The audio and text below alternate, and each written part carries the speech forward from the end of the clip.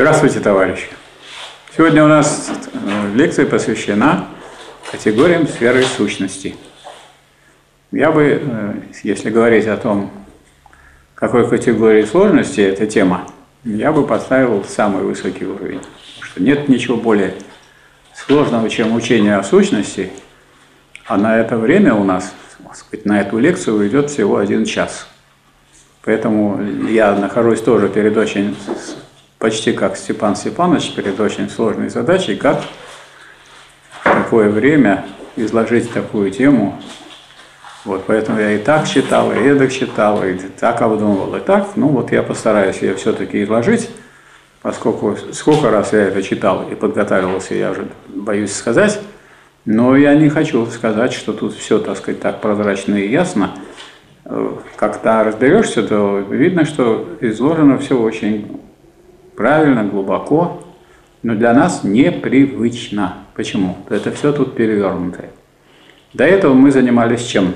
Вот во всех лекциях, которые я читал, и, соответственно, семинарах, которые проводились по этим лекциям, речь шла о чем? О бытии.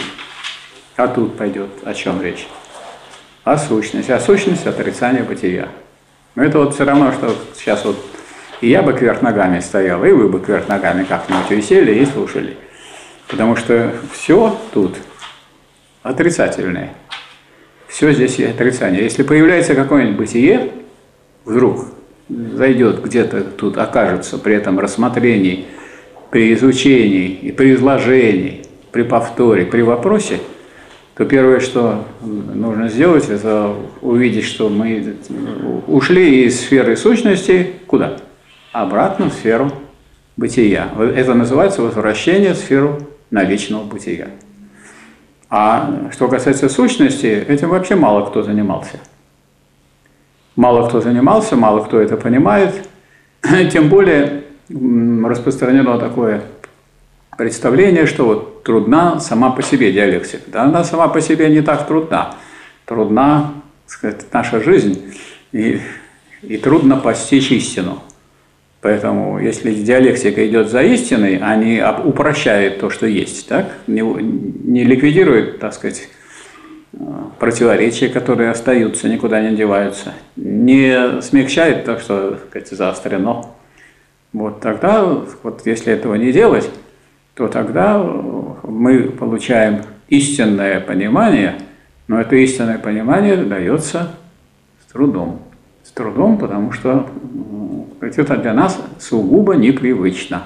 Вот мы тут с вами могли качество, количество, мера. Ну, это же, так сказать, с одной стороны, это вроде бы строго научно изложено у Гегеля, но уже когда до меры дошли, то там уже это и не видно, где тут качество, где тут количество, они как-то сочетаются, и вдруг странным образом появляется узловая линия отношений меры, да? Узловая линия. А что это за узловая линия? Ну, вот примерно как когда воду нагревают. Сначала лед, лед нагревает, нагревает, потом это же вода. Вода. В какой, так сказать, форме льда вот. Потом вдруг раз, скачок. И в, этот, в этом скачке происходит ну, превращение вдруг воды твердой в воду жидкую. Потом продолжаем нагревать. Нагреваем, нагреваем, нагреваем, нагреваем. Вы не заметили, что вот чайники, которые стоят, вот такого типа, как здесь, они вот так стоят молча, а когда нальешь воду и включишь электричество, они потом начинают шуметь. Кто шумит? Пузырьки. Что она вдруг шумит? Вода. Что, почему? Вода почему шумит? Испаряется. А? Пар. А что пар? В воде, переход. И что? Ну и что? А от того, что там, ну, стал, вот была вода и стал шарик пара. А шум-то от чего? Сход, вот это шарик. А? Вот, правильно. А дело в том, что вы видели, там нагревание снизу поднимается наверх, а наверх еще холодная вода. Да? И получается что? Вот две стороны. Аплодисменты. И вот эти самые пузыри в чайнике в этом дают аплодисменты.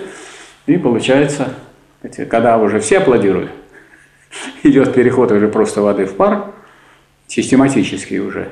тогда э, на этом, так сказать, выключается автоматически этот самый чай, можно пить чай. И опять тишина хорошо, никто не аплодирует. Но это все сфера бытия. Это все сфера бытия, а не сущности. А что такое сущность? Общее определение сущности какое? Отрицание бытия. Если это не отрицание бытия, то это не сущность.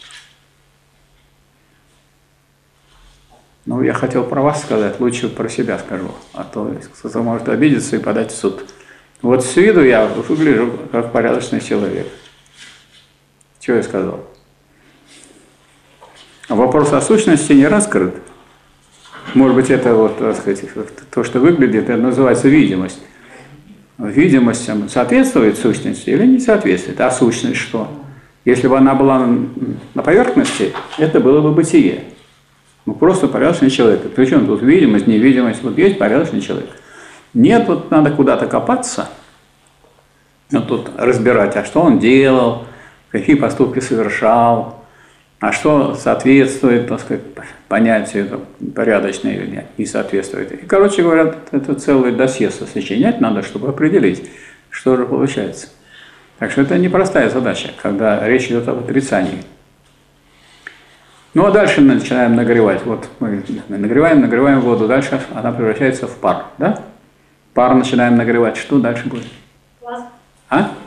Плазма, да? Плазма это значит уже не распадается, не вода превращается в пар, а пар, молекула пара разлагается и на отдельные атомы, отдельно водорода, отдельно кислорода. И вот этой есть аппаратура у нас там на Балтийском заводе и на всех кораблестроительных предприятиях крупных, которые вот эту плазменную резку осуществляют, вот этой плазмой и режут. А так вы попробуйте, вы разрежете вот такой толщины сталь или такой для, водок, для водоколов, если ледоколы уже строятся.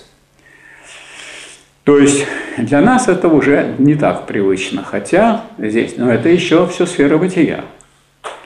Вот. Но эта сфера бытия, вот это вот э, появление этих скачков уже загадочным является. Правильно? Почему? Потому что э, вот где, откуда вот 100, 100 градусов, откуда оно трудно сказать. Но пока это мы как факт воспринимаем. Или переход, сколько надо тысяч градусов, чтобы перешло это в плазму и так далее. Это опытным путем.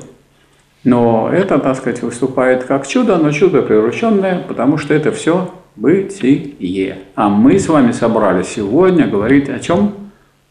О сущности. А сущность что собой? Краткое определение сущности какое? Отрицание бытия. Отрицание бытия. Совершенно верно. Вот отрицание бытия мы и рассматриваем. А раз отрицание бытия, значит, все наши эти приемчики и все наши примерчики, которые мы делаем, они не имеют к этому никакого отношения. Никакого. Потому что это, мы, это совсем не сущность, а бытие. Вот поэтому это заставляет нас вспомнить то, о чем вот уже и на кружке мы говорили, и на других занятиях, о том, чтобы мы материалистически истолковывали диалектику Гегеля. А что значит материалистически? Значит, надо это, в этом видеть не выкрутасы Гегеля и не выкрутасы философии, а отражение той сложности, которая в мире есть, в бытии. Есть эта сложность, есть вот эти вот вещи, и, но поскольку мы ими не занимаемся, они остаются у нас ну, не раскрытыми для нас. То есть как бы никто против этого не выступает, но никто это особенно и не излагает. А почему не излагает? Потому что он заучил, что есть три закона диалектики перехода количества в качество, да, отрицание, отрицание, еще третий. И, так сказать, на этом мы удостоверили. Единственная борьба противоположности. Что значит он понимает законы? Это что, принимал их какой-нибудь Верховный Совет материи? Не принимал? Что значит законы? Это спокойное явление по определению, которое дает Гегель. Ну, вот есть такие. Это спокойное явление выражается в виде вот таких очень важных моментов в. В движении чего? Материи. Мы с вами тут уже в течение длительного времени э, поставили перед собой задачу, ту, которую и Ленин ставил, которую решали Маркс и Энгельс, а, задачу материалистического истолкования диалектики Гегеля. И выяснили, что, во-первых, во-первых, там истолковывать в первом, в первом томе и, и нечего материалистически, потому что там ничего идеалистического и нет. Первый том, вот этот вот том я держу здесь в руках. Это какой? Это какая логика? Объективная. А что значит объективная логика? Ну, это не то, что кто-то придумал, а то, что есть на самом деле. Так это какое? Какая логика? Материалистическая вполне. Потому что что такое материя? Ну вот Энгельс писал, что действительно единство мира в его материальности, в антидюринге. То есть то единое, что есть, это материя. Ну, значит, э, вот это все, это все книги материалистические, а когда мы доходим до вот второй книги, это, это будет второй том, вернее, а книга третья. Ну, там другое дело. Там речь идет уже о понятиях. Но прежде чем там пошло о понятиях, там сначала идет механизм. Это к материи относится или к сознанию механизму? У кого в голове механизм? Здесь вот на часах точно механизм. Не, не заведу, завтра я уже знать времени не буду. А тут что? Тоже механизм? У кого там шурупчики, винтики, как они? Или когда мы проверяем, оценки ставим, мы смотрим, как у кого эти шурупчики в голове и винтики работают, да? Так? Не так? Поэтому, когда мы берем вот эту сферу, ясное дело, что начинает там Гегель опять восхождение, чисто материалистическое, механизм, алхимизм, когда берутся два разных материала, так, который как бы, имеет разные молекулы. Потом эти молекулы по-другому распадаются и соединяются в новые молекулы.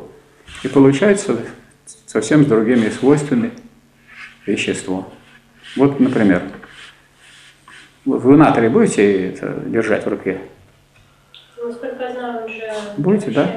Я его в карман положил, когда был школьником, и потом меня увезли в военно-медицинскую академию. И я месяц потом залечивал это дело. Ну, ни пересадки кожи не делали. А хлор?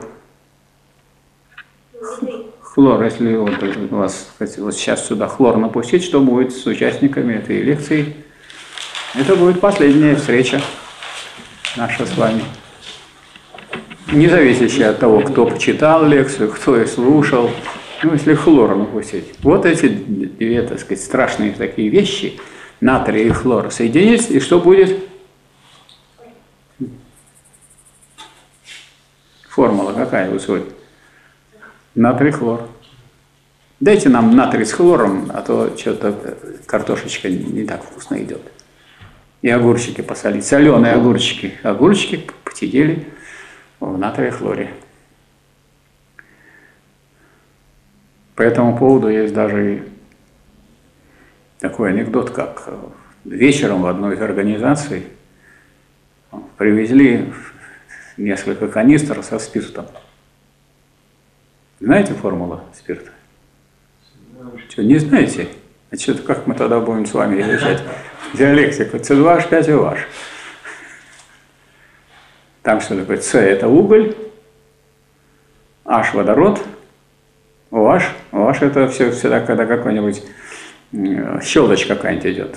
Это кислород с водородом. Это все вместе взятое ну, если еще разбавить, 60% воды будет водка, как известно, а 40% это потому, что это золотое сечение. Вот, в одну организацию привезли, и вот забеспокоились руководители, вечером придут рабочие и э, выпьют это дело. А там написано С2H5H. Ну, один придумал быстро постирать, оставить OH, и тогда они увидят, что OH, и не будут пить. Утром приходят, все лежат тут по. Вот почему. Спрашивают, так, как вы выпили? Вы не видели, что написано? Видели. Мы пришли, смотрим, написано «он». Попробовали? «Он». Мы тогда взяли и выпили это все. Химизм. То есть химизм, вот он, это же материя, материя, химические объекты, соединения разных атомов, появлялись новыми свойствами, появляется молекула химизма. Организм есть там в науке логики в томе? Есть. Организм. И, наконец, э, там есть и человек. Другое дело, что вот там еще нету белков, потому к тому времени их не открыли, не знали, что такое способ, что жизнь – способ существования белковых тел, что Энгельс уже написал. Ну, а все остальное, даже там есть плуг, который почтеннее, чем те зерна, с помощью, которые с помощью этого плуга добываются. Поэтому там, в общем-то, в целом-то материалистически, но тут вдруг посередине этого всего материала, по которому э, рассказывается, как материя развивается, как общественная материя, стоит э, понятие, стоят умозаключения, суждения – и ясно, что это надо сначала закончить с человеком, потом взять общественного человека, и потом взять вот эти понятия, а потом уже телеология, то есть цели, средства и их реализация. То есть там поправки надо делать. То есть так просто, сказать, там не получается чистого вот материализма и чистого идеализма. Там нету. Там ну, больше, конечно, там материализма, меньше идеализма, но самое они еще перемешаны. А вот в этих томах ничего тут нет такого. Поэтому мы должны подходить вот к этому материалу, к материалу, к вопросу о сущности сугубо материалистических позиций, потому что ничего идеалистического и у Гегеля нет. Где вы можете найти тут какой-то идеализм? Ну и как к этому подходить? Ну вот вы, прежде чем взяться за а, сущность, сначала изучали что? Бытие, то есть материю. Правильно? Вот, потому что поскольку материя и есть то единое, что есть. Вот изучали материю. И вот мы дошли до сущности. До сущности. А сущность, чем отличается от бытия? Она его отрицание. Так она его отрицание бытия в сущности, или она его, а то есть как бытия, или она куда-то отрицание этого бытия э, в смысле сознания? Нет, конечно. Отрицание какое имеется в виду? Какое есть в объективном мире, правильно? То есть одно дело явление, поверхность, так сказать, э, бытия, а другое дело отрицание этого бытия. То есть надо покопаться, найти в этом самом бытии что-то глубинное. Скажем, в учении о бытии законы есть? Законы видели там? первой книги. Видели? Закон есть спокойное явление. Слышали такое? Учение о сущности. Ну, учение о сущности. Да. Закон есть спокойное в явлении. Поэтому, если... Но это уже где? В сфере сущности. А в бытие там вообще все бытие. Так вот, когда мы рассматриваем материю вполне по-материалистически, то есть рассматриваем сферу бытия, то мы сталкиваемся с какими? Тремя категориями. Да? Качество, количество и мера. А мера как единство, качество и количество. Но уже довольно загадочное, потому что вдруг вот эти вот самые узловые моменты, переход из одного состояния в другое, как вот агрегатное состояние в химии – они так довольно внезапно появляются, но они существуют объективно, а не по воле какого-то человека, правильно? Агрегатное состояние разное бывает. Одно дело касается воды, а другое дело касается общественных событий. Вот было первобытно-общинный коммунизм. Одно состояние, потом идет развитие производительных сил. Да? Новых средств производства, орудий производства, так, умения человека – производить. Да? И тогда вдруг человек один может уже произвести столько средств существования, что могут просуществовать за счет его труда несколько человек. Значит, что может уже быть? Значит, этих самых э, врагов, которых вы победили, зачем их убивать?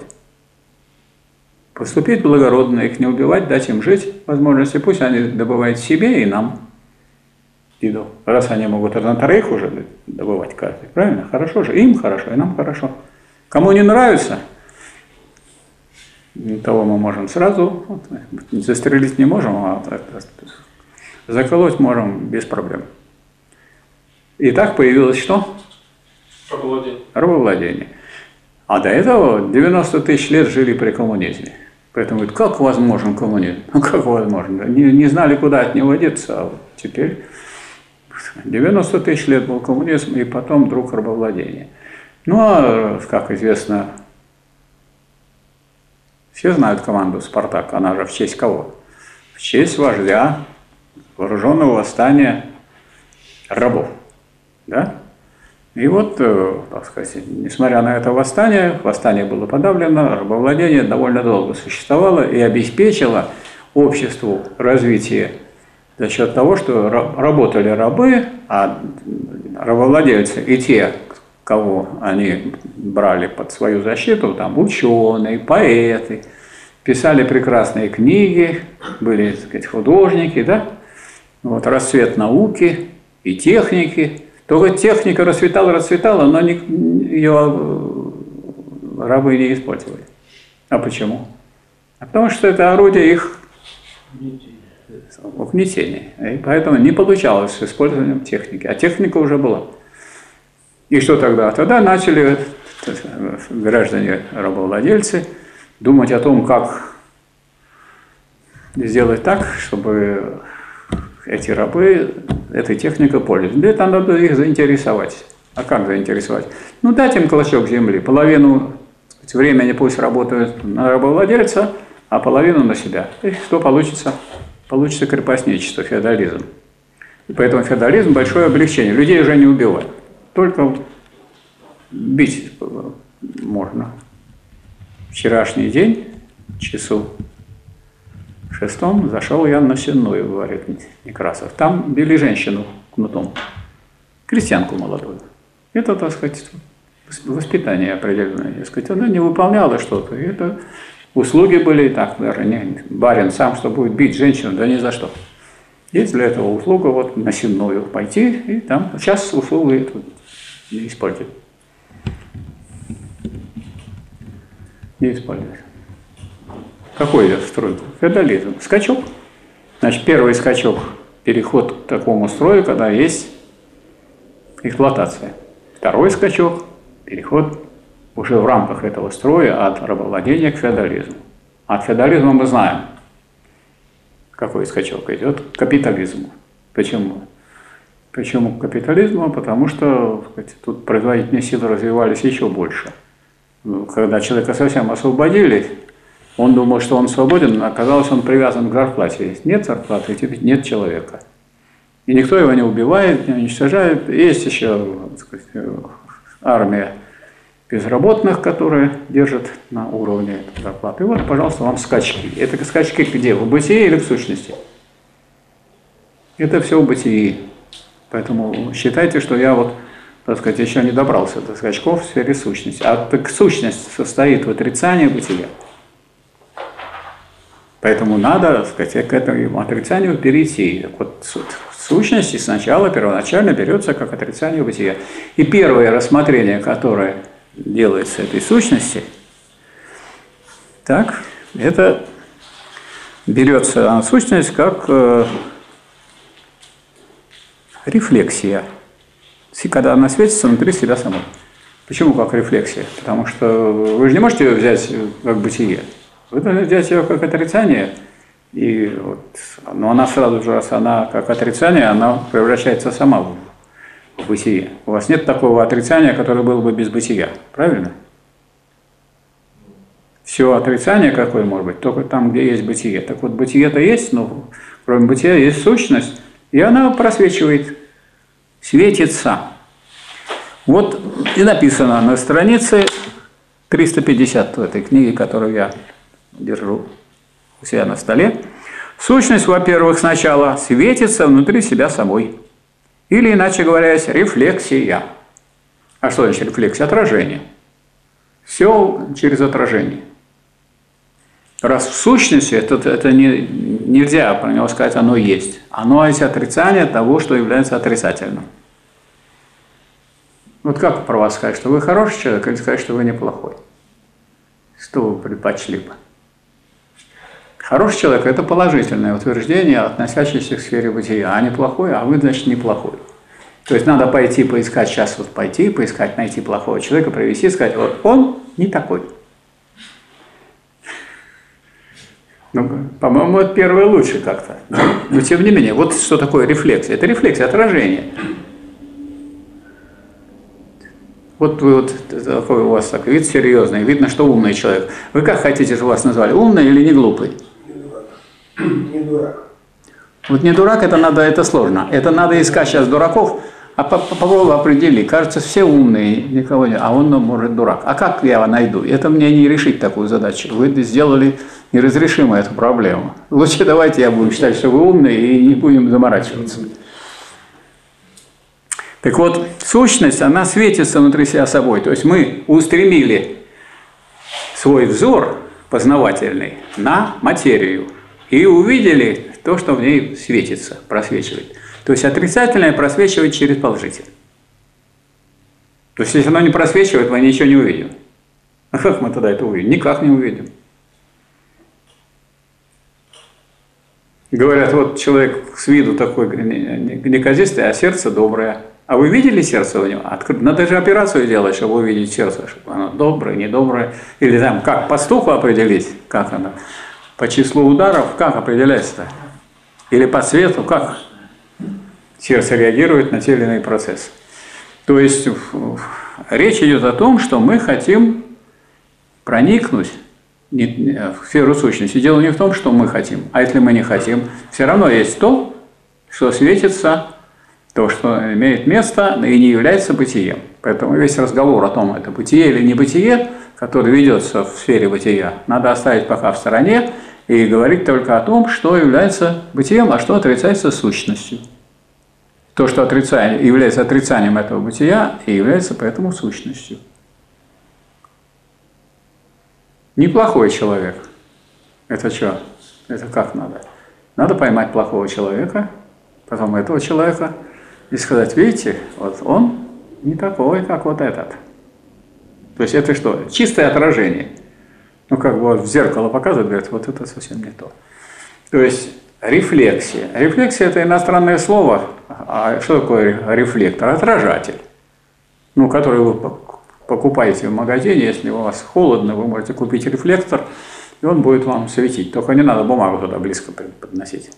И он будет вам нагревать воздух. Правильно? Рефлектор, он что делает? Он отражает тепло, а он не нагревает. Рефлектор этим не занимается. Вот нагревает там спираль. Спираль, она греет просто, и все, как бытие. Горячая спираль.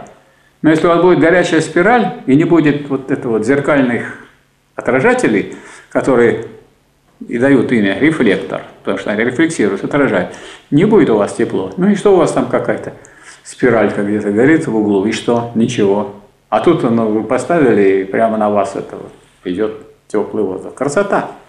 Чем вы пользуетесь? Учением о сущности. У меня рефлексивное так сказать, оборудование, отражатели.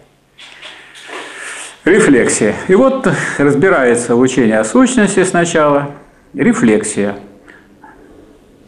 И вот она разбирается с этой точки зрения, выясняется, что она есть снятое бытие, и что бытие, что оно и может светиться через бытие, и просвечивать через бытие. То есть мы уже докапываемся до сущности, но сама еще она, так сказать, такая рефлективная. Еще в руки мы сущность не получили, да никогда и не получим, потому что такая вещь сущность, что она не дана непосредственно. Непосредственно. А что значит непосредственно? А что такое посредственно? Значит, что-то должно быть, через что мы к нее доходим. И вот это во-первых. Вот то, что во-первых, это сначала сущность как рефлексия в себе самой. Тут разбирается существенное, несущественное, и вот и эта вся рефлексия, это вот первая часть. Вторая часть, то есть прямо вот возьмите страницу 350, там прямо римские цифры. Рефлексия. Сущность, во-первых, сначала светится внутри себя самой, или иначе говоря, есть рефлексия – во-вторых, она является. Является. В-третьих, она открывается. Она является, но вам не открыта. Правильно? А важно же открыто. Почему, говорит, вы, человек сделал открытие. То есть это, это всегда было. Только никто не знал этого. А человек взял и открыл. этот закон, а он был до него, и до этого человека. Он открыл для кого? Для человечества. То есть, во-вторых, она является сущность. А что значит является?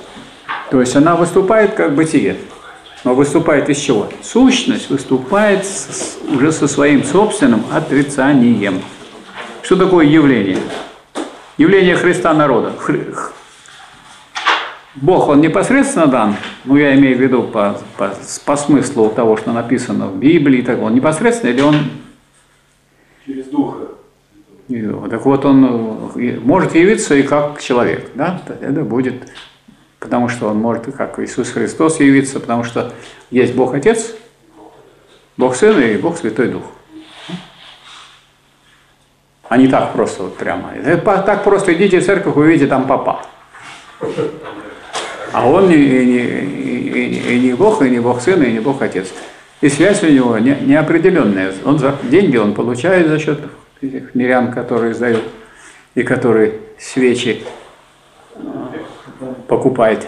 У меня, например, э, воспоминания детства, когда мы в селе Староклинское, Первомайского района, Тамбовской области, где я родился, были церкви, там большая такая церковь, и вот там покупают эти свечки, покупают, покупают, и кладут их, потому что они долго горят, и кладут их около икон. Потом смотрю из той кассы, в которой продавали, выходит тетя, идет к этим а, уже к иконам, и прямо вот эти груды этих свечек забирает и идет туда снова продавать. Вот это рефлективное движение. Рефлексия, отражение. Ну что они там будут лежать? Ну, Правильно понимаете, если это свечки, они должны кому-то приносить добро. Все равно их сейчас не зажжешь. А вот тем, кто сидит в этой кассе, добро на лицо. Сейчас раз, и еще раз их продадут. Потом третий раз, четвертый раз. Красота. Ну, скажет, Бог к этому не никакого отношения. Почему? Потому что он непосредственно не дан, а он только является, если он есть. Но поскольку мы материалисты, мы, так сказать, в данном случае о Боге вообще ничего не говорим. Это, так сказать, только был пример, удаляющий нас в сторону, уводящий. А на самом деле сущность, если она есть, так она тогда является, правильно? Но она э, есть как отрицание, то есть вы как отрицание бытия, то есть вы просто непосредственно сущность, вы ее не можете увидеть. Но она может непосредственно вот как, как простую, в себе сущую сущность, может как-то определиться совсем. А вот если вы хотите уже, когда говорите о явлении, так она раз и явилась. Непосредственно. Явилась сущность. А чтобы явиться непосредственно, она должна в себе себя отрицать.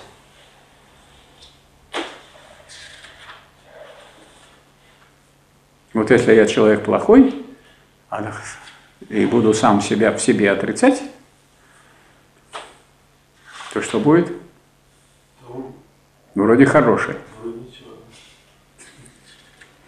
Но я это отрицать вроде хороший буду сам себе. Это самовоспитание, что ли, называется? Это рефлексия тоже. Правильно? То есть то, что является одним, ну, в сущности, оно в явлении другим уже выступает. Так можно и хорошим стать. да? Можно, да. Можно. Так. Она является. Но является, сегодня является, завтра она скрылась опять. То есть нет, устойчивости никакой тут не гарантировано. Если ваше, так сказать, проявление положительное является отрицанием чего-то отрицательного, что у вас есть, то это не, ненадежно. А вот надежно, когда открывается, которое как сущность едина со своим явлением, это уже будет называться действительностью, а не явлением. Это третье. Вот, на вот все это очень кратко на одной страничке, даже в одном практически абзаце, на странице 350 и рассказано, что сущность, во-первых, сначала светится внутри себя самой.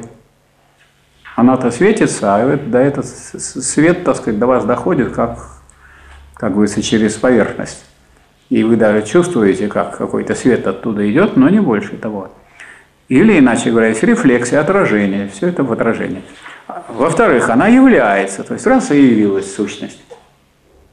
Но чтобы ей явиться, она должна отрицать само ее себя, явление. Поэтому, когда вы берете уже явление, то явление, категория явления двухэтажная. А двухэтажная какая? Какой первый этаж? Ну, это закон явления. Вот то, что является постоянной в, явлении, да, неизменном в явлении, это закон. То есть, вот у вас, скажем, бурный океан, идет течение, гольфстрим. Наверху никакого течения нет. Нету. А ну, есть. Вот. вот это, а явление какое? Явление противоположное этой сущности. Это оно не является там. А вот там, где вдруг есть все-таки течение, таких места можно найти в море, где это вот движение подводное, оно проявляется и как поверхностное в том числе. Вот это уже явление. А иначе явления никакого нет. Оно есть, и все где-то там. Явление.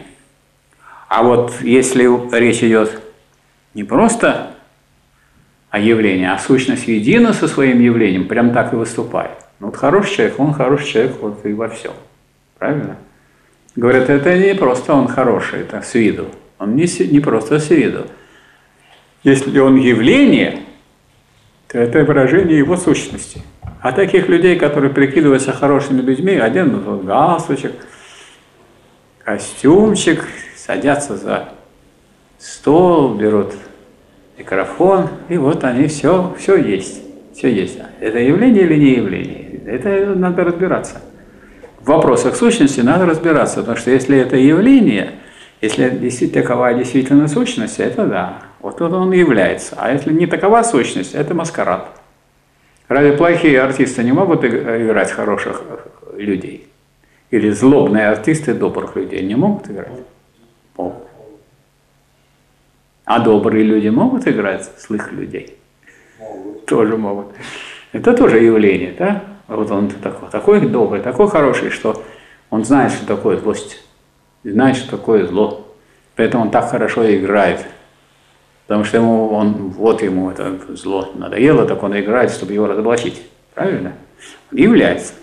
Поэтому вот я все время искал такая задача, которая передо мной стояла как перед лектором, очень сложная. Вы хотите, чтобы я вам самое сложное во всей философии изложил за, за час, за 50 минут? На минуту у нас что-то идет. Так это же очень сложно. Ну вот э, я искал, где вот самое понятное. Вот здесь все написано. Там только это раскрывается. Дальше только подробности будете читать. Видимость отдельно, существенная, несущественная, и поехали. И там вы это будете излагать. И там это все расписано в учении о сущности. Но надо не потерять основную нить, что это вот отрицательное, которое сначала берется как положительное, когда речь идет а как оно? Оно целиком и не выходит на поверхность, оно так просвечивает, светится внутри, написано, внутри себя самой. Бывает, про людей говорят, что вот настолько добрый, что у него прямо вот в глазах и на лице отражается его доброта. Хотя бывает и наоборот. С виду добрый, раз и, и убил человека. Особенно все эти люди, которые втираются в доверие, все эти шарлатаны, жулики, проходимцы, их, их сейчас полно. Сейчас полно. Не знаешь, куда от них деться. Начинаешь уже себя подозревать.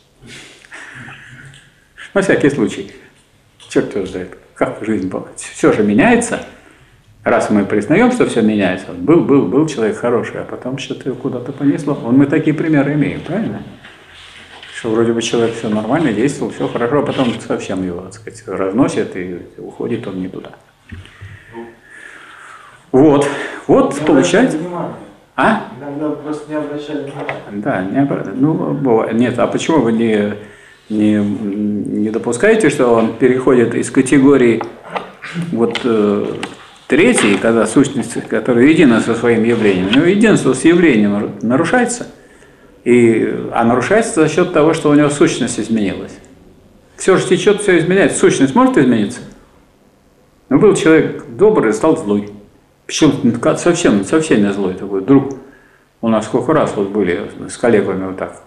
Приходится освобождаться от таких, потому что они начинают набрасываться, как дикие звери, на одного, на второго, на третьего. Неустойчивые люди. А? Неустойчивые люди. Ну, ну И чтобы неустойчиво, это еще они пусть сами падают, а они накидываются на других. Это, тогда те, которые, на которых они накидываются, те неустойчивы. И тогда надо быть очень устойчивым. И твердо держаться, иметь организацию определенную с позициями, которые не просто светится внутри, но и чтобы она выступала как наличное бытие, и чтобы она была едина со своим явлением. Вот что важно. Важно, чтобы человек был добрый по душе и, на самом, и по поступкам. А если он только по душе добрый, а поступки все злые, это ставит под вопрос э, утверждение о том, что он добрый. Что он добрый? Что, в чем доброта? Все только портит и сказать, на всех нападает. Ну, что это такое? То есть я хочу сказать, что мы с такой с вами не только сложный вопрос сегодня разбираем, а сказочно интересный и сказочно важный, потому что нигде больше вы это не услышите. Я хотел сказать, не прочтете, но это не так. Прочитать вы можете.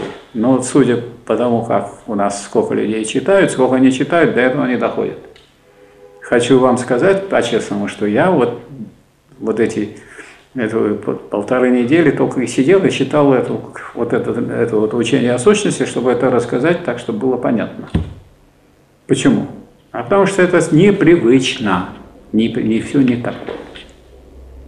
Вроде как, когда я, мы говорили, что если э, я вам дам натрий и хлор, то вы точно умрете, а натрий и хлор вместе, если я дам, то все будет хорошо. Вы посолите и с огурчиком похрустите. Так что это разные вещи. Вот. А что касается подробностей, а подробности вот тут описаны. Вот первый отдел, сущность, как рефлексия в себе самой. Там все разбирается. Видимость, существенное, несущественное. Подробно рассматривают Гегель. Вот что от него еще ты? Вот видимость разбирает. Я тут почти все понял. Рефлексия. Рефлексия это что? Да вот этот отражатель, о котором мы с вами говорили говорят, рефлексирую, когда я думаю, туда-сюда.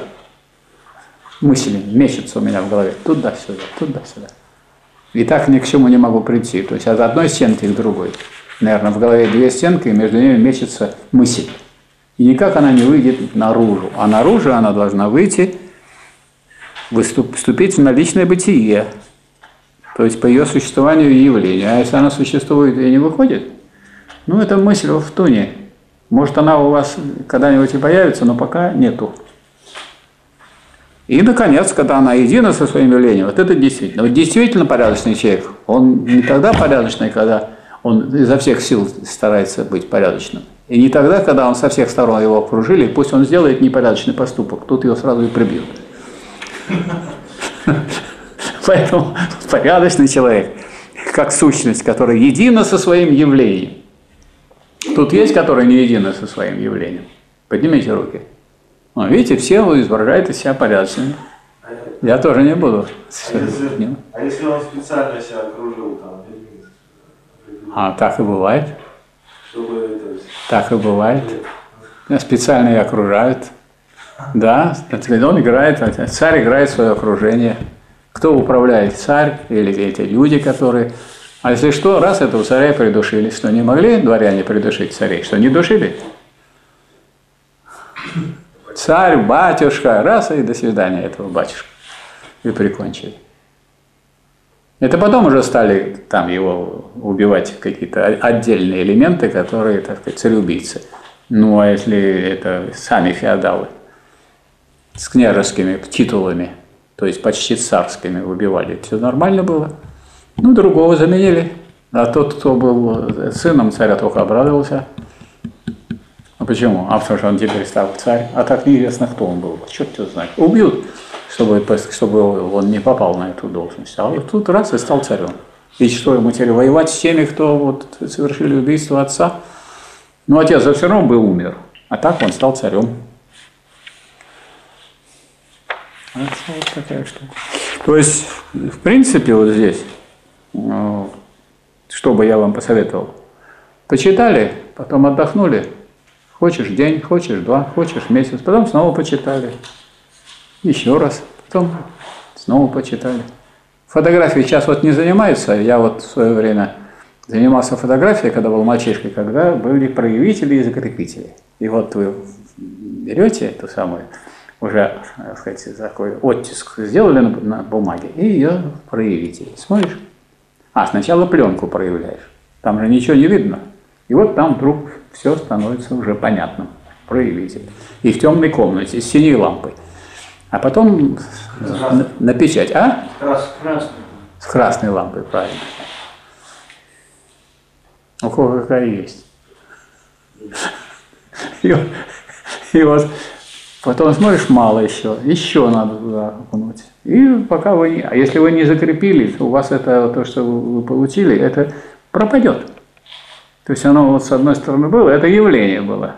Только не Христа народу, а явление вот этой фотографии. А потом раз и нету этого изображения. А почему? А потому что закрепитель-то забыли опустить.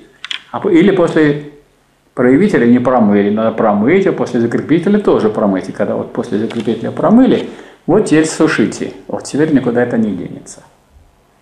То есть то, что вот тут видите, какое хорошие слова. Явление, проявитель. Оно, оно же не проявлялось. На пленке что-то там непонятно черненькое. Так раз сначала так сказать, аппаратом на, на- на- ну, направили лучи на бумагу, на фотобумагу. А что получилось, неизвестно. Тогда мы в проявитель эту фотобумагу смотрим, вдруг лицо появилось. Потом рука-нога, все в порядке. Вот. Дальше закрепитель, и все это. Поэтому и сущность тогда она едина со своим явлением, как написано пункт 3 римским.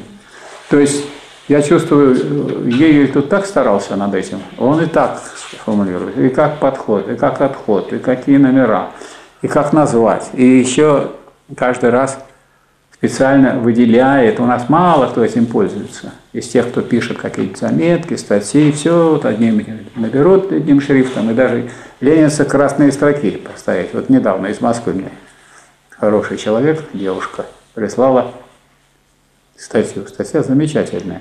Но нет абзацев. Где вы такие видели книги без абзацев? Это ведь мысль должна начинаться где-то и где-то заканчиваться. Вы мысли хотите или просто вы хотите сказать, что это какие-то строчки, которые вы откуда-то надергали и поставили? Вот я сидел и ставил абзацы. Потому что статья хорошая, думаю, я просто отрекомендую, чтобы ее напечатали. Ее так и напечатают наши хорошие люди, тоже хорошие, которые также, или между абзацами строки вот такие пустые. Зачем? Это тут что, для мыслей или для отсутствия мыслей? Зачем эти строки пробелы? А если вот представьте, я лекцию читаю, сейчас у меня будет пробел 10 минут. А он и будет. А он сейчас и будет. Вот сейчас как раз у нас уже пора. Вот я объявляю перерыв на 10 минут, то есть пробел. А после перерыва у нас будет ответы на вопросы по этому материалу. На нашему учебному плану после перерыва ответы на вопросы.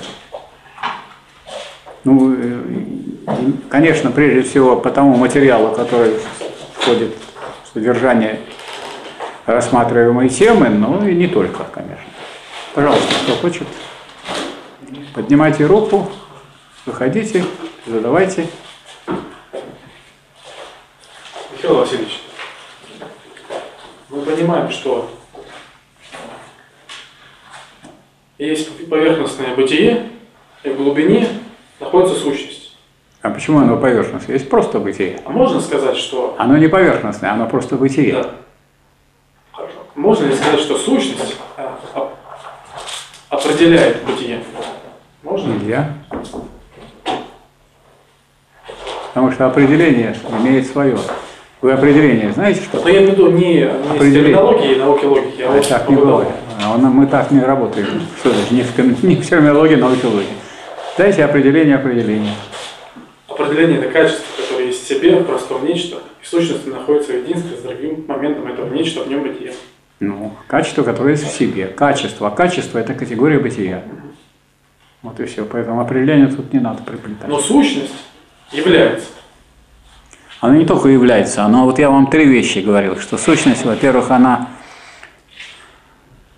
полагает себя в своем движении в трех, следующих определениях. И прямо вот я и зачитывал, и ваше внимание обращал на это. А вы хотите это распотрошить и убрать. Тут написано, первое, как простую в себе сущую сущность в ее определениях внутри себя. Раз.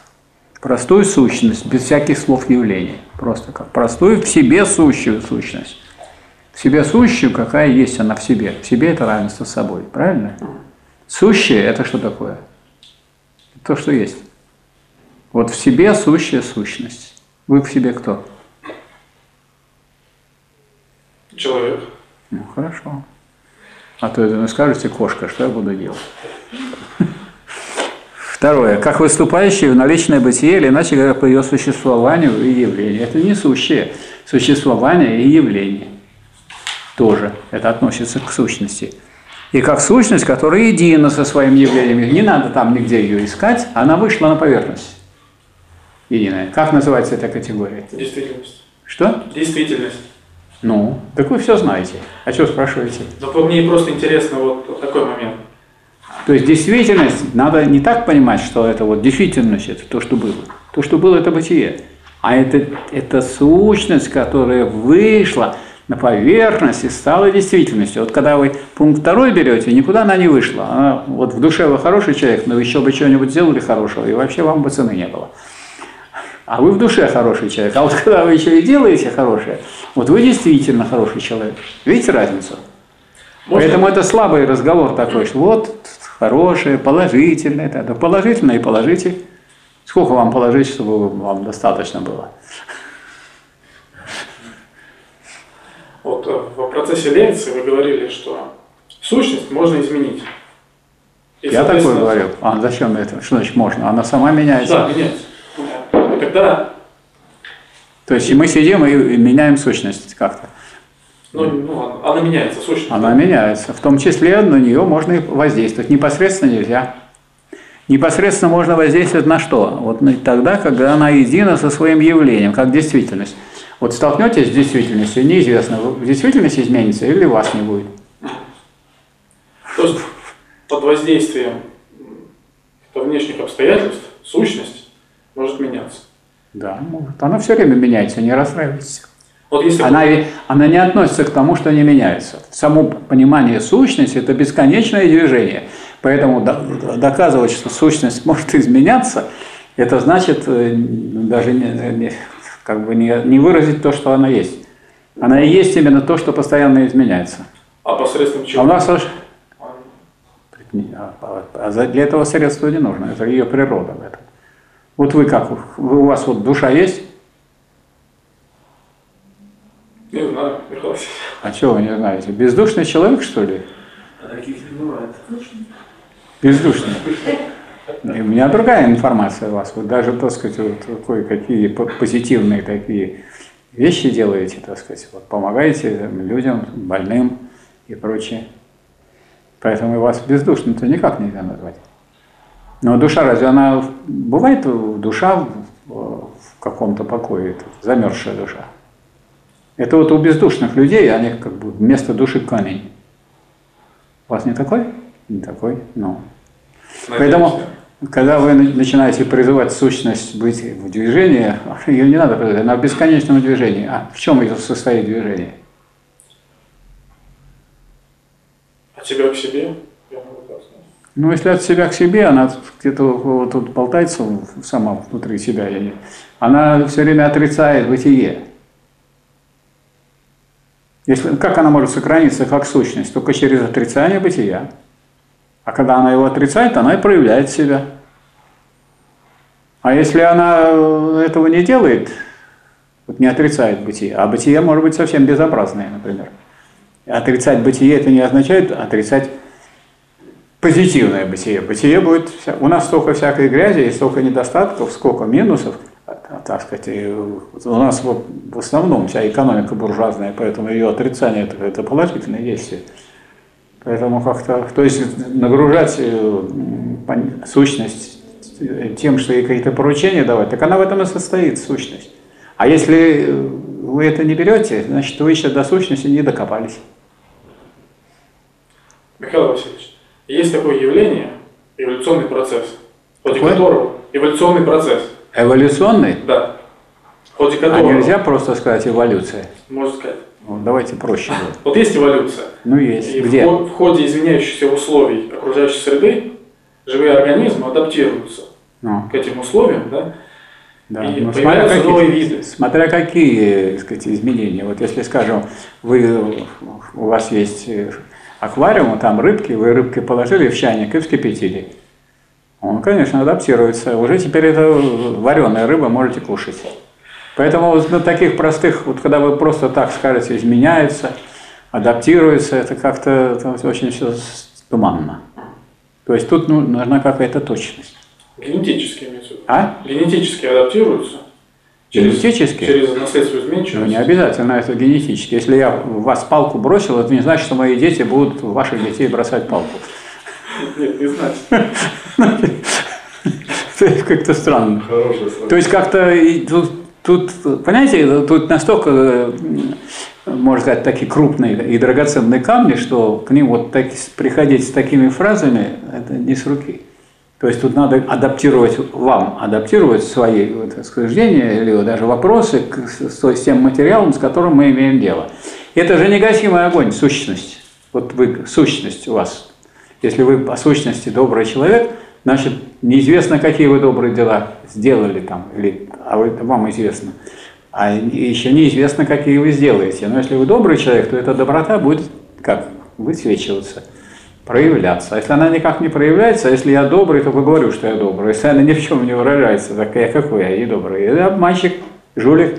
Я, значит, вот так активно стираюсь в доверие.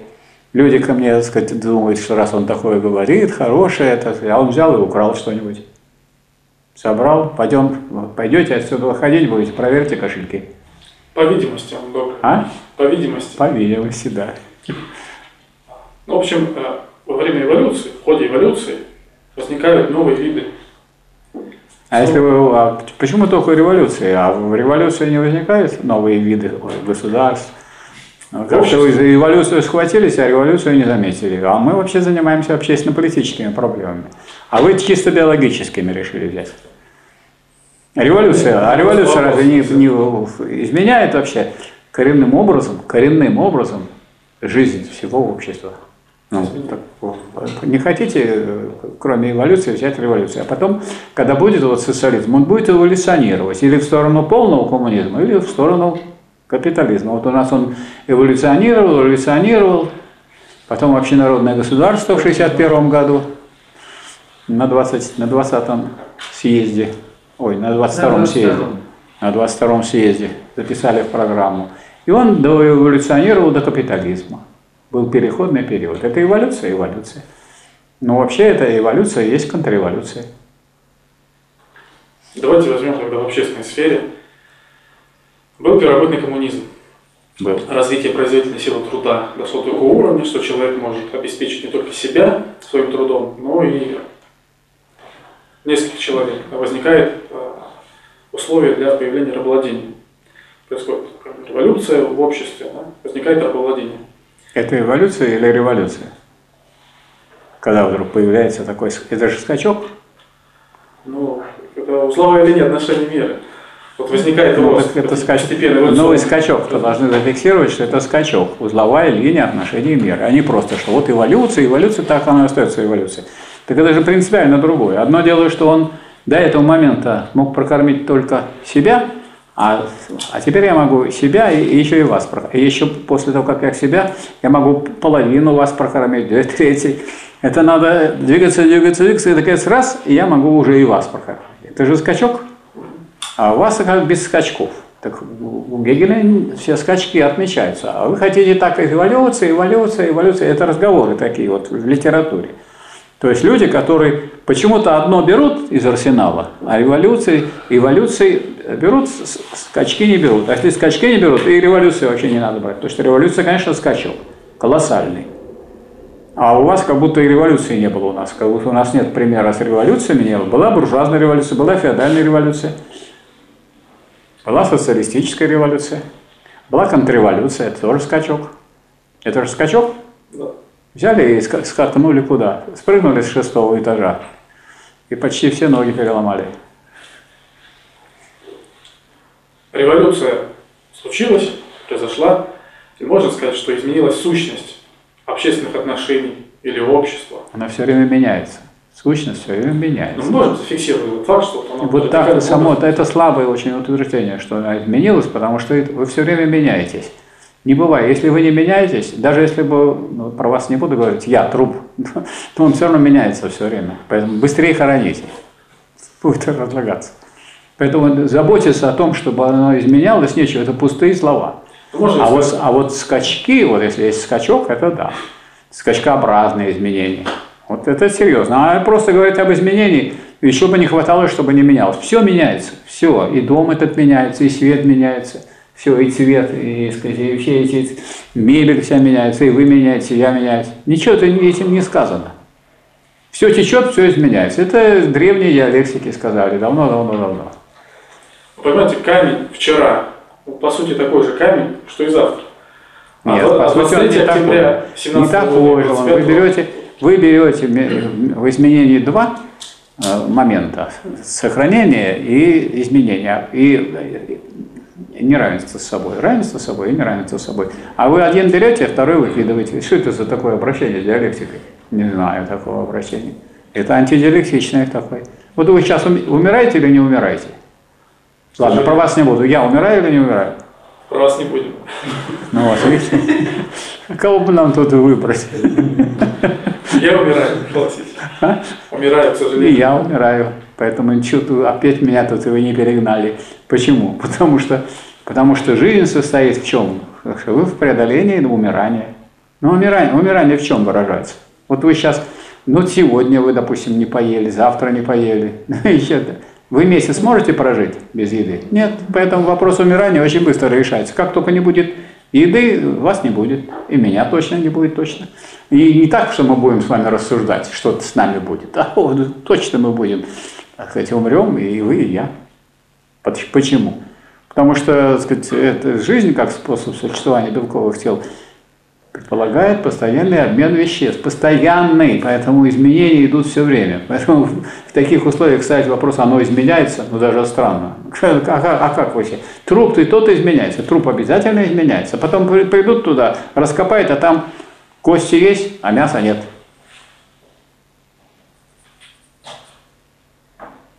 Изменилось мясо. Все изменилось. Поэтому вопросы, вот,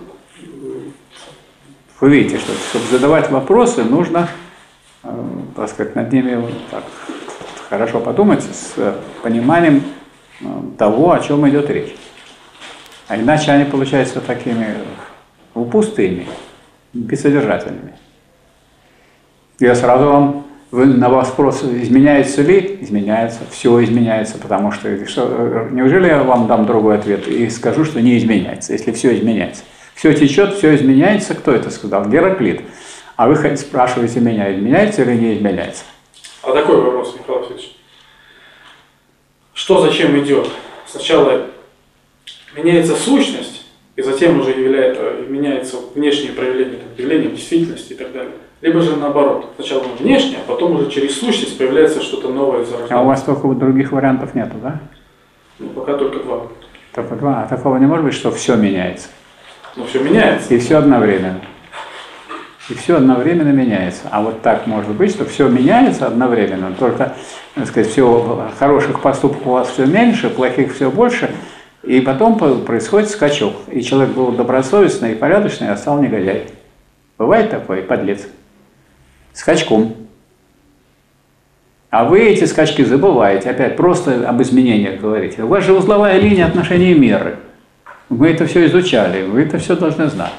Поэтому просто говорить об изменениях – это пус- пустота. Это еще бы не хватало, чтобы что-то не менялось. Все меняется. Ваши вопросы и то меняются. Вот один мне задает вопрос, и другой потом третий. И мои ответы меняются.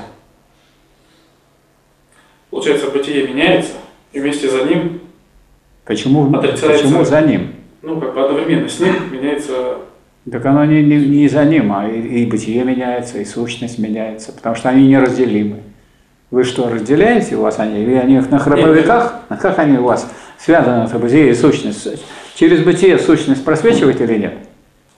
да, Ну, раз просвечивает, значит, все меняется, и сущность, и бытие. Если человек все время, так сказать, вот бытие его становится другим, он раньше совершал положительные поступки, а потом стал совершать отрицательные. Может наступить такой момент, когда он станет, уже вы не можете его назвать позитивным человеком. Был человек порядочный, а стал под лицом. Бывает такое? Вот изменники Родины, что они прямо родились, что ли? Вот когда он был такой маленький, вот изменник Родины родился, да? Нет? Вот его мама кормила молочком, то все, папа вокруг него ходили. Ну и никто не рождается изменником Родины.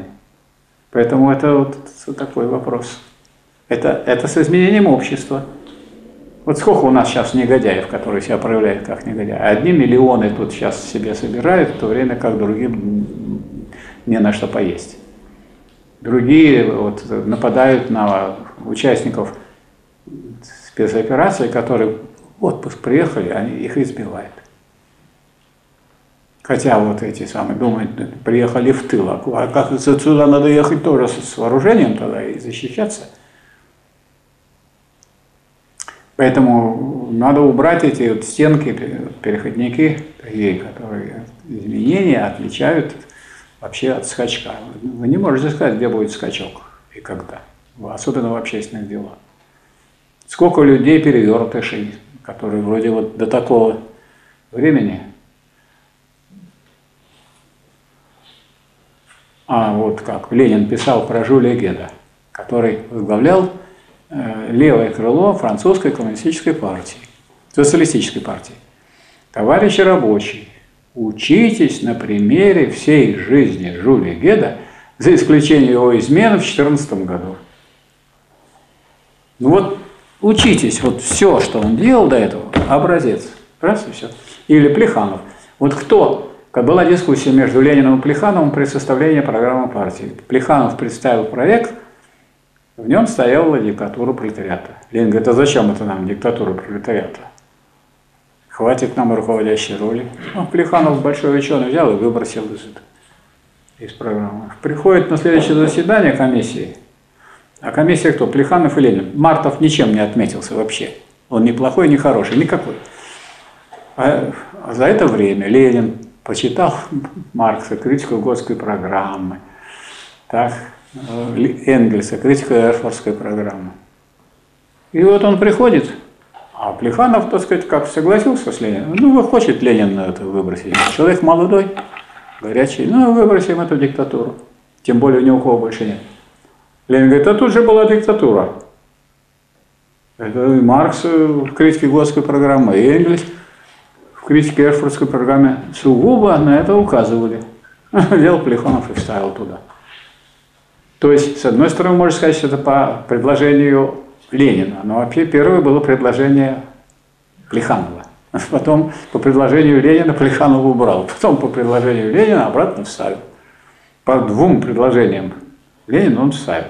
А потом этот Плеханов, который, как говорится, здесь себя показал как знатоком марксизма, и первый включил в, диктат, в, программу, в проект программы «Диктатура пролетариата», сам от этого отошел и пошел к меньшевикам. Не было такого? Так что, вы скажете, что этот самый Плеханов был таким сяким контрреволюционером, так сказать, антипартийным и прочее, скажете со мной. Так он же участвовал в создании РСДРП.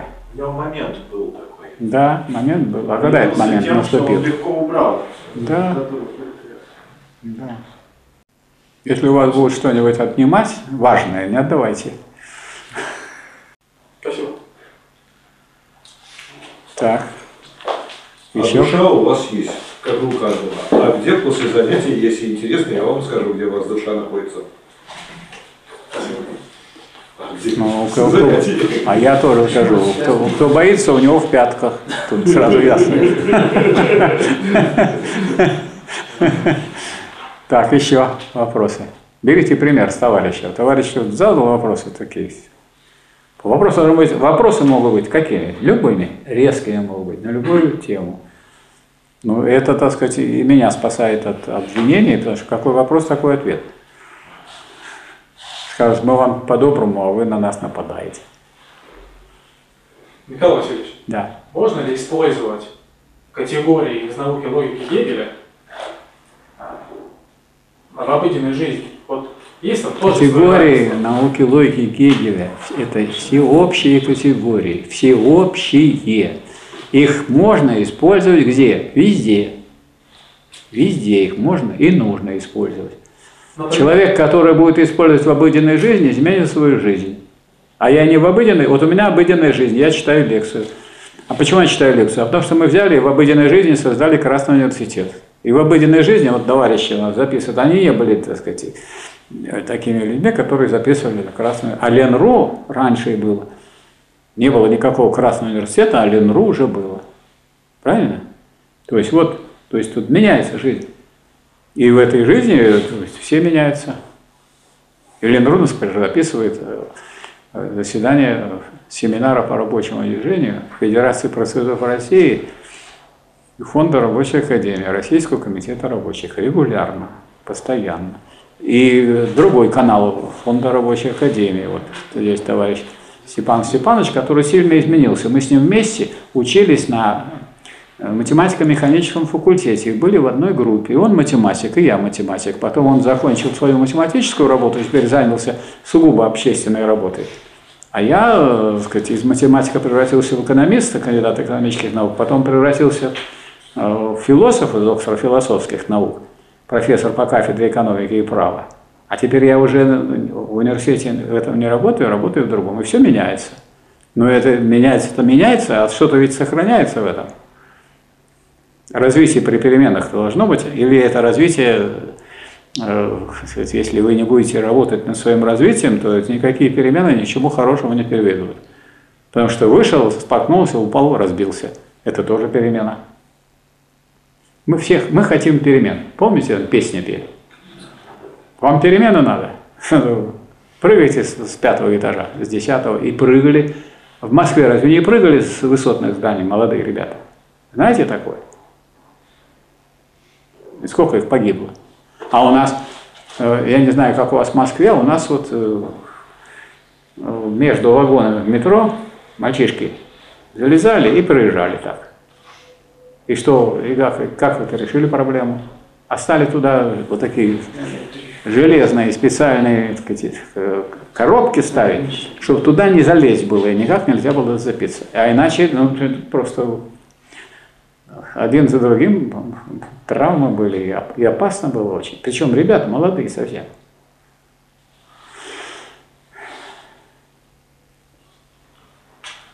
Вопрос от Нины Андреевны. Зиновьев Александр Александрович называл себя настоящим коммунистом. Что это означает, настоящий коммунист?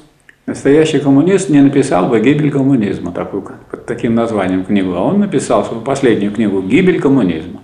Поражение коммунизма, да, а вот гибель коммунизма – это значит, что он похоронил коммунизм. Даже если у него он был, он в себе его похоронил. Хотя он такой э, интересный философ, такой острый, и он, так сказать, э, в итоге сам себе подвел итог.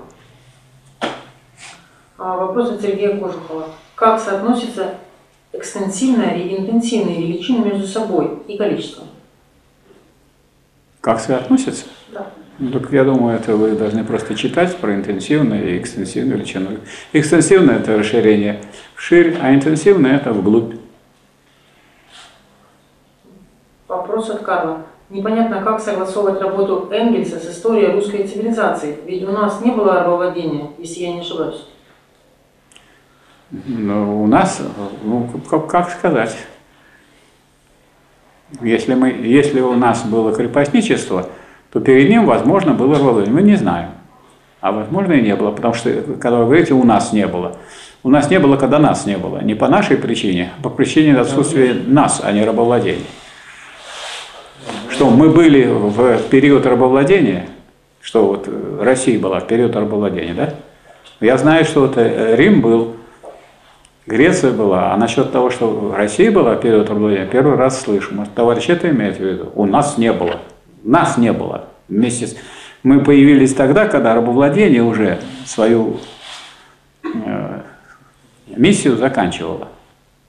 Тогда появились государства такие феодальные. Вот феодальным и Россия изначально была феодальным государством. А если были отдельные князья, которые еще не образовывали государство. Значит, государства не было российского. Это были на территории, вот нынешней территории, самые разные князья, которые с одной стороны между собой воевали, а с другой стороны э, вместе защищались. Пришли татаро-монголы и, так сказать, заставили этих князей думать, как соединиться воедино. Потому что они поняли, что если вы будете враждовать между собой, придут другие. Придут еще вот оттуда. Поляки пришли. Поляки были в Москве? Были. Командовали парадом. Француз пришел в Москву. Поэтому в России надо было думать, как э, сказать, представлять собой единое государство. Но оно и было не с самого начала такое. Только ордынская ига там. А? Ордынская ига несколько веков в рабство загоняли. Ну, эти элементы, ну, элементы рабовладения при крепостничестве были, это, это понятно. Ну что, убили бы какого-нибудь крепостного, как убивали раба, и что было бы? Да ничего не было бы этому самому феодалу, правильно? Нет, угоняли там, А? угоняли вплоть до Китая. Ну, угоняли, в рабство брали. Рабство, да. Да. Так а потом э, при оккупации фашистской Европы, части нашей территории же, тоже в рабство угоняли фактически. Продавали на рынках в Польше, в Германии наших граждан. Это не, сказать, это не, это в, этих, в, этой, в этом государстве рабовладения не было как такового, а то, что Оно было как в отношении... ну, в отношении пленных оно было, людей. да, в отношении тех, кого Нет, они ну, выгоняли. Не только Но вы же не можете сказать, что там это, что фашистская Германия рабовладельческое государство. Вы его, думаете, вы его, так сказать, более очернили? Нет. Вы его, его сделали, так сказать, менее злым. Фашизм гораздо страшнее, чем рабовладение. Рабовладение, рабовладение это было, но в печах не сжигали людей. И не вытаскивали у них зубы и, сказать, и всякое золото э, сказать, выдергивали. И не кидали их просто так, вот, и засыпали землей. Поэтому я думаю, что нет, тут, фашизм гораздо страшнее рабовладения, и, по-моему, не, не стоит тут ставить на этом какую-то точку и говорить, что вот, дескать, у нас было период, это было рабовладение. Да было это, рабовладение было светлое, светлое пятно по сравнению с фашизмом. Ну и что, я вот на вас работаю, я ваш раб. Ну и что? А вот если вы фашист, то вы меня завтра, так сказать, в любой момент меня убьете. Хотя право у рабовладельца убить раба, конечно, было. Но это не значит, что все время пользовались этим правом. Поэтому рабовладение, конечно, гораздо э, сказать, э, более благородное, благо- Фашизм более благородное, чем фашизм. вещи. Раз. Вот Николай услышал товарища Гавшина и спрашивает, что такое душа с материалистической точки зрения? Материалистической точки зрения – это ваша сущность. Сущность – материалистическое понятие? Материалистическое. Вот. То есть, если это вы что-то там, так сказать, из, из себя изображаете, это не душа. А если это у вас не только внешнее, а и внутреннее, вот это уже душа. Вы на самом деле так думаете, или в самом деле вы такой? Вот это душа. То есть душа – это то, что является внутренним в человеке. Ну, понятно, что это внутреннее. Вы не со скальпелем будете это искать, а будете искать где? В голове – раз, и в поступках – два. Если у вас есть только в голове, а в поступках нет, это не душа. Это вы просто говорите, что у вас душа добрая, а на самом деле она может быть злая. Поэтому тут надо, чтобы что было, мы сейчас имеем дело с явлением. Вот если есть явление, тогда это душа. А если нет явления, то это не душа. А вот ре- ребенок э, поступает плохо, да, он еще не сформировался, так у него душа в этот момент такая, да, получается? А если он не сформировался, значит формируется душа. Формируется. Ну так а что, вы сами же вот и как сказали, так и формулируете. Ну да, да. Если у вас вот не сформировался вопрос, так формулируйте свой вопрос. Ну это не совсем вопрос. Мысль вслух. То есть я хочу сказать, что мы имеем дело с очень точными понятиями и очень ценными. И вот эти оттенки можно ими выразить. Потому что есть у вас вот явление, есть сущность, светится внутри себя, ну, доб- добротой. Вот не бывает так, что какая-нибудь добрая старушка, видно в ней по- прямо по глазам, что она добрая.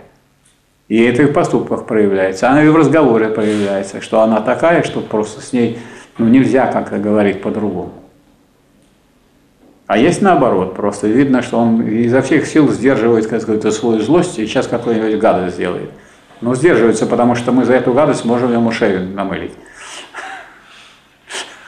Поэтому это на уровне внутреннего проявляется в глазах. Уже смотрит на глазами, не знает, как сделать. Сейчас вот интересная картина в России. Много врагов России, которые вообще ненавидят свою страну. Они, которые доили ее как корову, получали миллионы за какие-то да. там свои э, концерты вшивые. Причем я именно за вшивые, потому что люди у нас, которые сказать, э, принадлежат великому искусству, посмотрите какие-нибудь оперные певцы или, или актеры театров наших. Они что, такие деньги получают? Нет. А эти, значит, которые орут, кричат – собирает толпы народу, и эти толпы дают много денег, поэтому дают этим певцам тоже много денег и артистам. Те, кто держит вот эти самые заведения, э, которые становятся на этом миллионерами. У нас вот, например, есть э, спортивный комплекс. Сколько там? 300 тысяч в месяц? 300 тысяч, да? Нет. А? Какой? Ну, самый большой Са- Самый большой это вот арена. Да, Зенит арена. Ска- ска- Нет, ска, ска арена. А тут 80 тысяч. Сколько? 80 тысяч. 60. 60 тысяч. Вот я хозяин этой Зенит арены, представьте себе. Про вас не буду говорить, чтобы вы не обвиняли. Значит, за, за вечер сколько мы получим? Билеты, если по 5 тысяч, умножаем 5 на 60, сколько? 300. 300 тысяч. Не 300, Ну, 300. вы же понимаете, там есть вот, 300 есть близко, есть дальше. Так, еще-то по 5 тысяч. Это, а? Миллионов, почему тысяч? а, 5 миллионов, да. 300 миллионов. 300 миллионов. За вечер. Да, почему? 300 миллионов. Конечно. Ну, 300 миллионов. Значит так, тем, кто убирает, там, э, билеты раздает, охраняет, т-т-т, сколько там? Ну, 10 миллионов. Отнимаем, 290. Вот этим, которые изгоняют этих людей, вот этим артистам, им почему и дают миллионы? Ну, им тоже дать по паре миллионов. Сколько их там будет? 10 человек? Ну, 20 миллионов. 20 до 15, 35. От 300 отнять 35, остается 265. 265 нам вот мы с, это вот с товарищем Лазаревым, вот, хозяева этой зенит арены, 265 получим. А в Москве, а в других местах такие вот все эти мероприятия, это так, собирают толпы, изгоняют их, и говорят, что так много платят футболистам? Да им платят по сравнению с тем, сколько получают те, кто организовывает эти самые футбольные состязания, гроши. Потому что им платят не по принципу, не по труду, а платят, потому что они актеры, они должны привлечь этих самых людей. И они привлекают, и поэтому богатеют. Поэтому это самые крупные предприятия, это больше, чем какие-то другие экономические предприятия, потому что они за один вечер получают сотни миллионов за один вечер.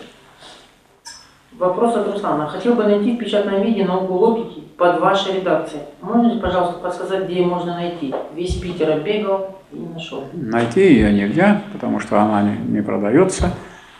Вот. Но а, те люди, которые успешно занимаются в Красном университете и, и сдают экзамены положительно, они имеют, получают вот эти две книги. А это очень просто. Ле- Летом идет запись на следующий поток. Вот на этот поток уже никакой записи нет.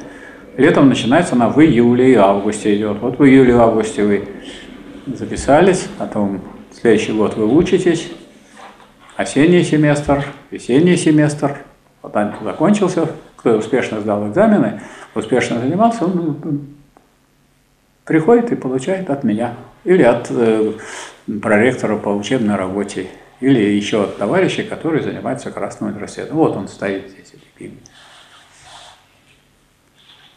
Вопрос от Карла. Какова Конечно. позиция рабочей партии России по выборам президента?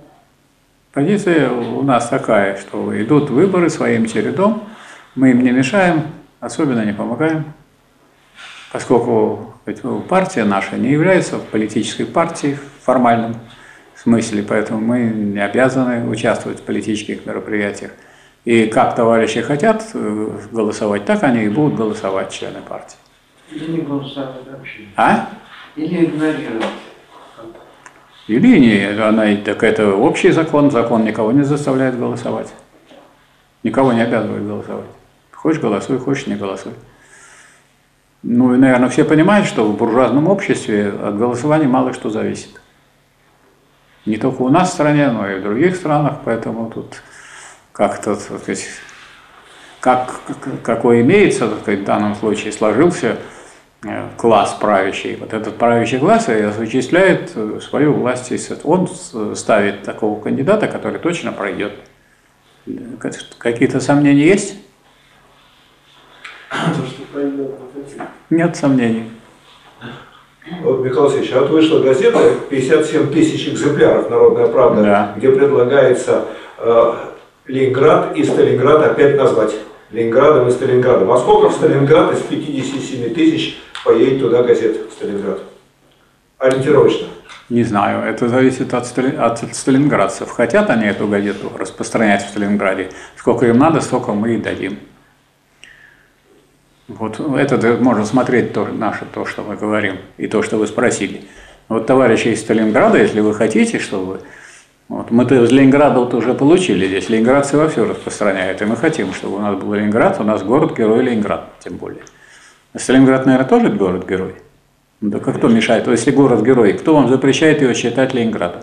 Вот, например, товарищ Бушин, известный наш публицист, никогда не говорил про, Ле- про Ленинград Санкт-Петербург. Никогда. И ни на одном конверте ни- никогда не написал. И все, да, все письма доходили. У нас вот стоит э, стелла на- рядом с московским вокзалом, написано «Город-герой Ленинград».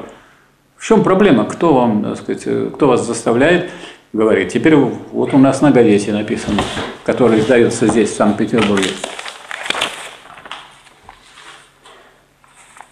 Я не вижу никакого Санкт-Петербурга. Знаете, написано. Народная правда, пролетарских стран соединяйтесь. Ленинград. В чем проблема? Нам кто-нибудь запрещает писать Ленинград? Но если вы не хотите называть Ленинград, мы вас тоже не будем заставлять. Называйте Санкт-Петербург. Сталинградцы. Если вы хотите называть Сталинград Сталинградом, да называйте. Ну и потом, если вы немножко понимаете устройство вот, там, э, на экономики и политики, и политические изменения, если уже принято решение выпустить два ледокола, на, на президентском уровне принято решение, ледокол один будет называться Ленинград, и уже начинается строительство у нас на Балтийском заводе. Ленинград. А второй ледокол, который следом пойдет на этом же стапеле, Сталинград, я думаю, так сказать, вас даже как приучают уже, чтобы привыкали правильно называть города. А если вы не будете называть, ну не будет у вас, если ленинградцы не будут называть Ленинград, и не будет Ленинграда, кто будет, кто это насильно будет заставлять вас э, считать Ленинградом? Я, например, не говорю Санкт-Петербург и ничего. Мне как- Мне как-то нет желания говорить, как- какой Бург, почему он Бург. Бург – это немецкий город, тем более сейчас. Это Штольц бы нам посоветовал говорить Санкт-Петербург. У нас Петроград был. Петроград еще был революционный град, по-русски. Опять, понимаешь, притащили немецчину сюда. А теперь удивляемся, что там так плохо относятся к России. Так потому что не надо с ними заигрывать. У сильных уважают, слабых душат, давят. Ну, немецкий манер, чтобы мы сделали это при Собчаке. Это Собчак все организовал с обманным своим референдумом. Люди не могли разобраться, что там написано. За, за, против, не против. И проголосовали и объявили, что, дескать, вот э, ленинградцы проголосовали. Не ленинградцы проголосовали, а Собчак и протянул это все. И оформил как э, якобы референдум. Точно так же обманывали людей в масштабах Советского Союза. В 1991 году, когда был референдум о Советском Союзе, как и, что было там э, в, вопросе? Вы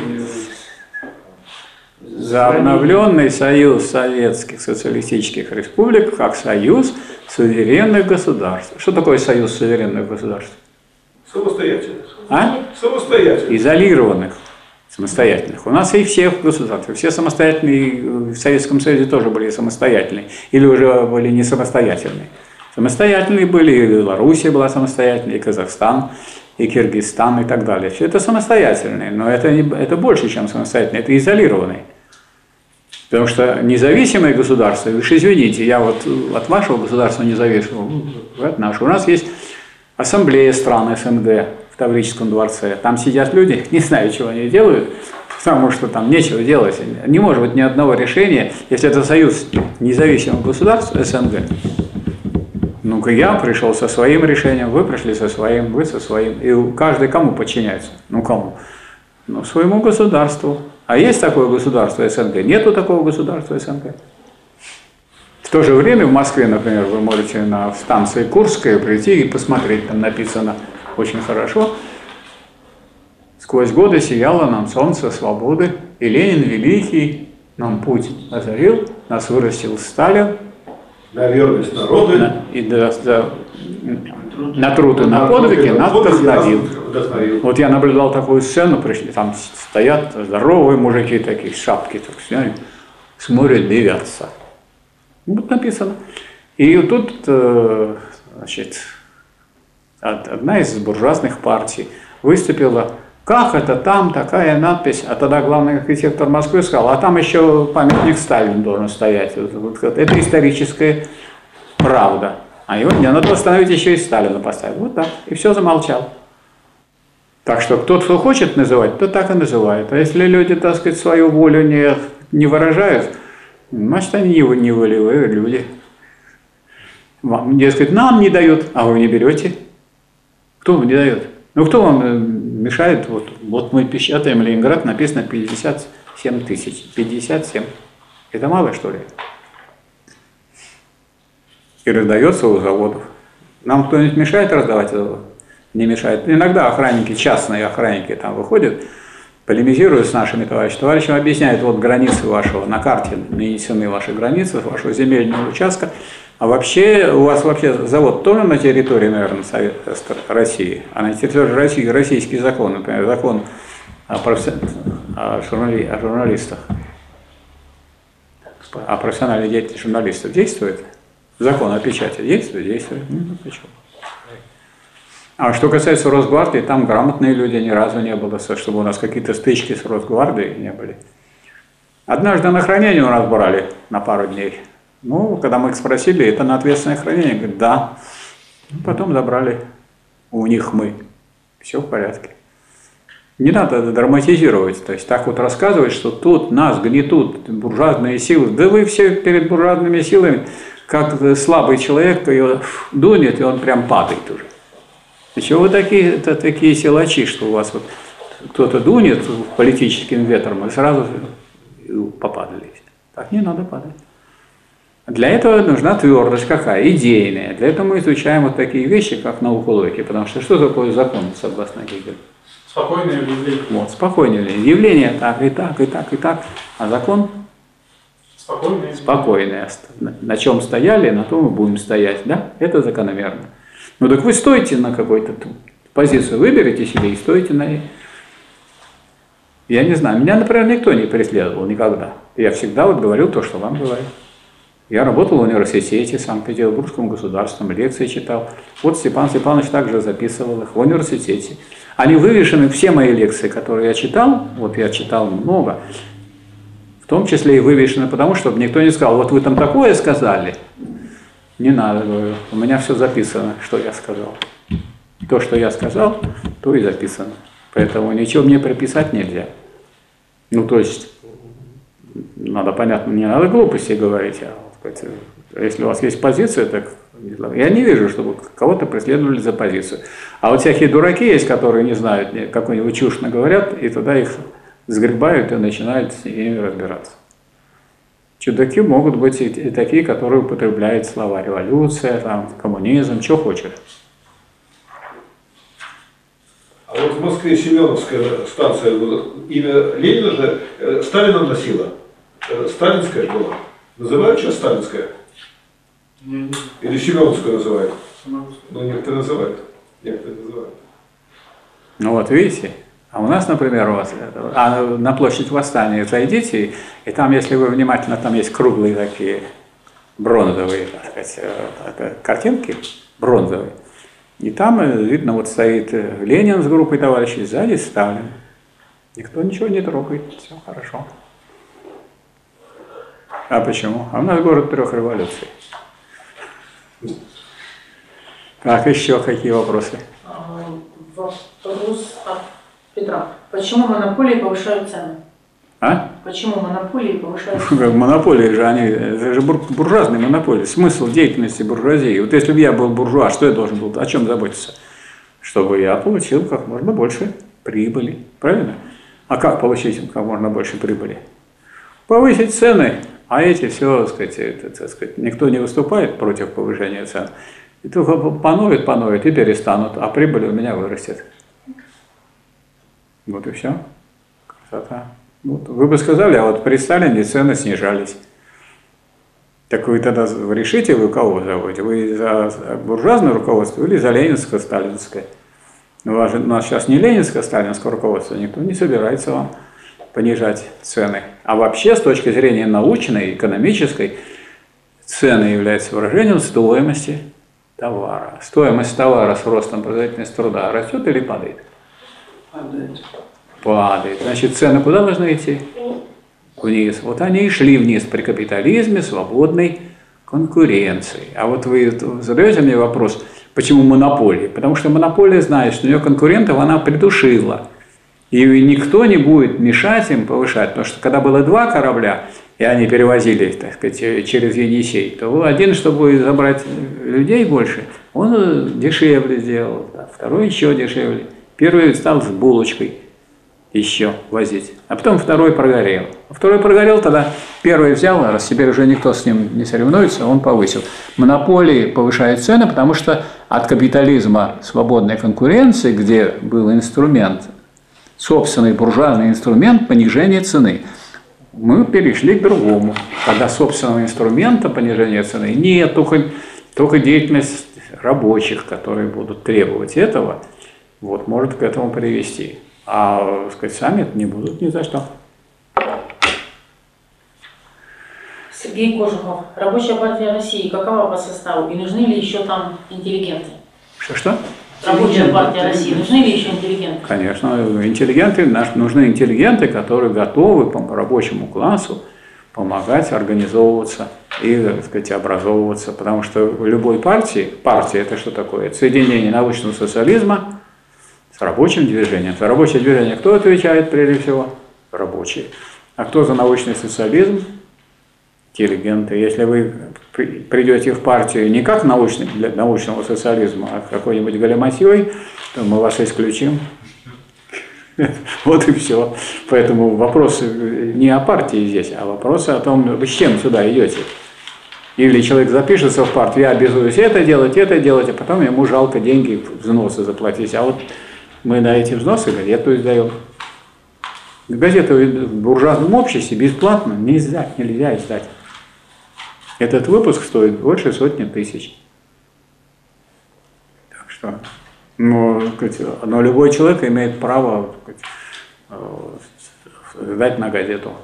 И нам все время так сказать, люди помогают.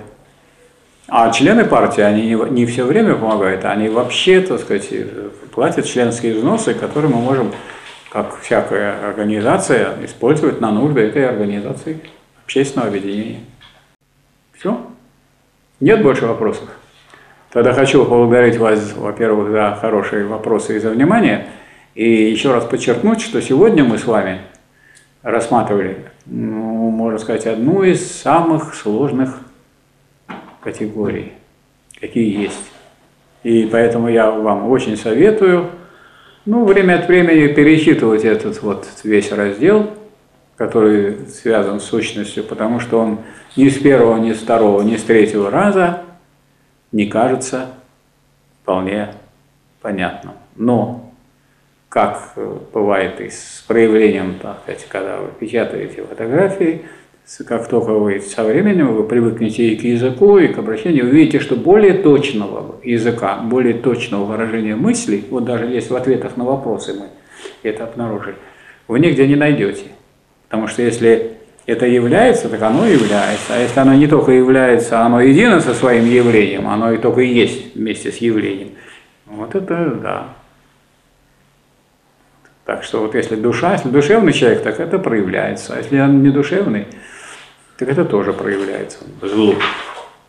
И злой проявляется в злых поступках. Если человек любознательный, вопросы задает. Не любознательный, он не задает вопросов. А не почему он не задает? Потому что ему как бы стыдно показать, что он еще этого не понял.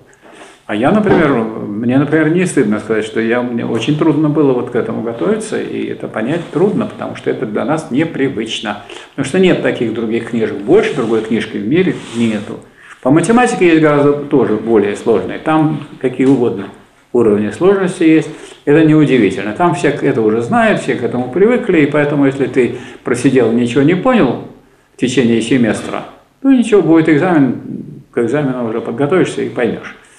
А поскольку здесь никто и не требует, никто не требует и никто не заставляет изучать науку логики Гегеля, все, так сказать, таскают всякую чепуху и называют это философией. И с этой философией выходит.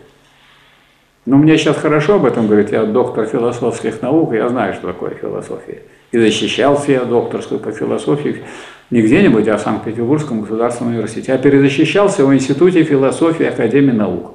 Поэтому я тут длинную дорожку прошел, и поэтому я, так сказать, э, хочу сказать, что люди, которые уважают философию, уважают э, диалектику, они меня поддерживают не за то, что это я. Речь это не будут поддерживать какого-то а за то, что речь идет о продвижении диалектики. И вас будут поддерживать, если вы будете продвигать диалектику. А может быть, вас и поддерживать не надо будет, потому что вы не падаете. Меня спрашивают, а вас поддерживают? Да я говорю, пока я не падаю. И вы не будете падать. Э, вы поймете, что чем сказать, выше знания, тем крепче человек стоит на ногах в нашей жизни. А в нашей жизни надо стоять крепко на ногах, потому что у нас вся жизнь борьба, в том числе борьба в буржуазном обществе, где прямо у нас тут же забирают. Вот сейчас, пока мы тут сидели, уже повысили цены. И же вечером повышают, а утром вы приходите, уже цены другие. Все время об этом думают товарищи. Они о своих прибылях думают все время. Ну и мы тут систематически занимаемся. У нас какой год? Девятый э, Красного университета? Или десятый?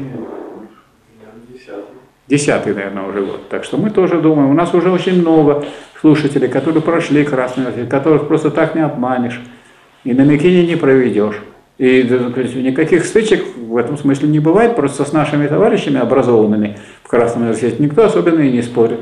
Лучше увернуться и не спорить. У нас мы же стоим на почве истины, а люди даже не знают, что такое истина. Кто-нибудь скажет, что такое истина под занавес? А? Соответствие понятия объекту. Да, вот хорошо. Видите, у нас есть люди, которые спокойно выходят из любого положения. Так, спасибо большое за внимание. Спасибо, товарищ.